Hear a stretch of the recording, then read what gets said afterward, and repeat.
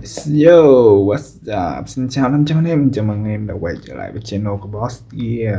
Ngày hôm nay mình sẽ cùng 500 anh em đi đập hộp một em bàn phím cơ.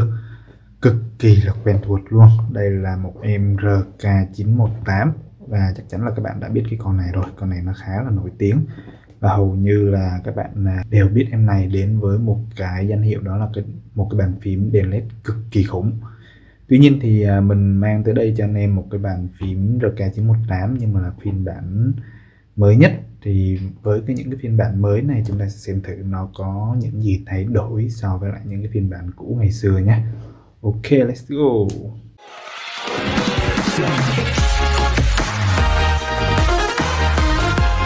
Rồi về cái đầu tiên thì về cách đóng hộp thì mình đã thấy được là nó thay đổi một chút về cái cách đóng hộp nó sẽ có màu mè hơn một chút cái hộp thì à, có vẻ hình như to hơn.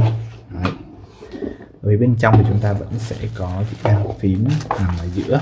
Đó, kèm theo một cái cuốn hướng dẫn sử dụng. Cuốn hướng dẫn sử dụng này thì nó có rất là nhiều trang luôn. Đây. Và nó có rất là đầy đủ chi tiết cái cách sử dụng chiếc bàn phím này. Các bạn cũng nên giữ lại để mà tham khảo nhé. Nó có hướng dẫn đổi led các kiểu nữa. Do cái con này led nó cũng khá là nhiều ok chúng ta bỏ chiếc bàn phím sang một bên. Ở phía dưới này thì à, chúng ta sẽ được nhà sản xuất cung cấp thêm cho chúng ta một cái keyboarder và keyboarder khá là xịn nhé cái này rất là tiện nếu như các bạn chơi con này các bạn à, chắc chắn sẽ thay keycap thôi tại vì con này led nó rất đẹp. Ok, quay trở lại với em bàn phím thì cái đầu tiên thật vào mắt chúng ta đó chính là cái kê tay này. Thì với cái phiên bản mới chúng ta sẽ được tặng thêm một cái kê tay nữa cái điều này rất là thiết yếu luôn. Và cái kê tay này nó sẽ được gắn liền với chiếc bàn phím. Đây. Bằng hai cái cái này giống như là một cái bản lề vậy đó. Ừ. nó sẽ gắn chặt vào đây. Chúng ta cũng có thể lấy ốc vít để mở hai cái bản lề này ra để gỡ chiếc kê tay này ra nếu mà các bạn à, thấy nó hơi vướng víu và không phù hợp. Ừ, khá là ngon. Vì hiện tại có rất là nhiều bạn thích có một cái kê tay để cho nó đỡ mỏi khi mà mình sử dụng trong một thời gian dài và cái kia tay này thì nó cũng không có quá là to và cũng không có quá là nhỏ, cho nên chúng ta vẫn có thể vừa, để vừa tay như này, hơi chít chết một xíu. Tuy nhiên thì nếu như mà cái kia tay này nó làm to ra thêm một xíu nữa ở đây, thì những người tay dài như mình sẽ cảm thấy nó thoải mái hơn. Về mặt ngoại hình thì chúng ta sẽ thấy nó không còn gì khác biệt lắm chúng ta vẫn sẽ có một cái hệ thống full size 108 phím. Đó. đặc biệt là những phím này thì thường là RK918 thì nó sẽ thêm vào. Những cái chức năng khá là hay ví dụ như tắt âm lượng tăng giảm âm lượng và gọi calculator. Và chúng ta thấy là về cái bên ngoài keycap vẫn sẽ là ABS double shot như bình thường thôi. Ừ, chuẩn là chuẩn OEM và đèn led của nó thì vẫn sẽ là đèn led RGB và chúng ta vẫn sẽ có đèn led chạy như đít đây nữa. Không có gì khác biệt hết. Đó không có gì thay đổi. Y như phiên bản cũ luôn chỉ có điều là nó sẽ có thêm cái kia tay thôi. Ừ. ngoài cái kia tay này ra thì chúng ta sẽ còn có một cái thay đổi cực kỳ lớn nữa. Đến từ cái hiệu năng của em này.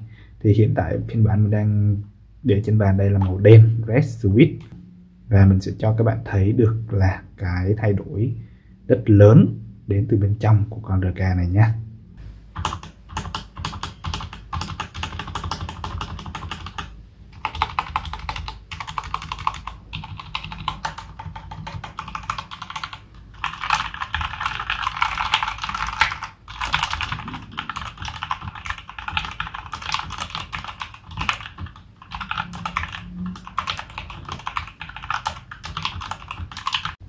Đó như các bạn vừa nghe thấy thì cái thay đổi tiếp theo đó chính là về cái phần start của những con này thì nó đã được làm cân chỉnh lại có lúc luôn đầy đủ luôn. Đó.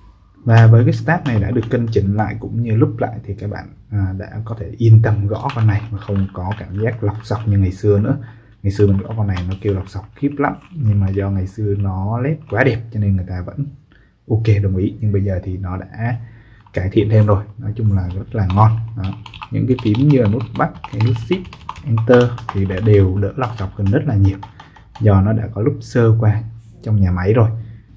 Đây là phiên bản red thì mình gõ thì nó sẽ có cảm nhận rõ ràng nhất. Và phiên bản blue thì ờ, nghe cái tiếng lắc tắt của nó hơi to, cho nên là các bạn à, có thể là sẽ không có nghe thấy sự cải thiện nhiều. Tuy nhiên thì à, cái con này vẫn nhất là về phần led thứ hai là về cái phần nó sẽ tặng thêm cái cây tai này. Và thứ ba là nó sẽ có lúp lại luôn các cái step cực kỳ ngon. Ok, bây giờ mình sẽ thử sao test cho anh em nghe giữa blue và red nhé. Blue thì mình sẽ dùng phiên bản màu trắng.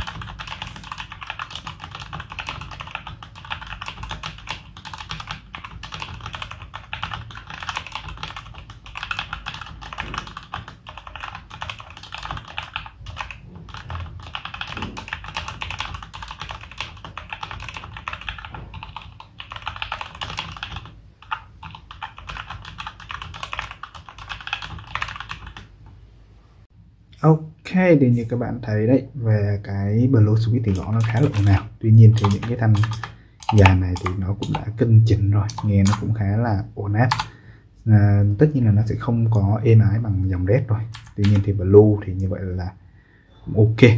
Về cái đèn led thì các bạn thấy là cái con này nó vẫn hỗ trợ đèn led rất là kinh khủng khiếp.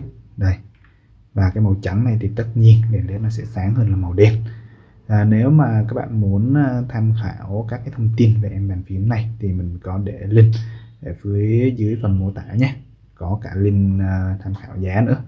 Còn nếu như các bạn uh, có hỏi còn nếu các bạn có ý kiến về chiếc bàn phím này cũng như là muốn hỏi thông tin gì thì cũng có thể comment trực tiếp ở phần uh, comment của video. Ok cảm ơn các bạn đã theo dõi video nhé. Xin chào và hẹn gặp lại. Bye bye.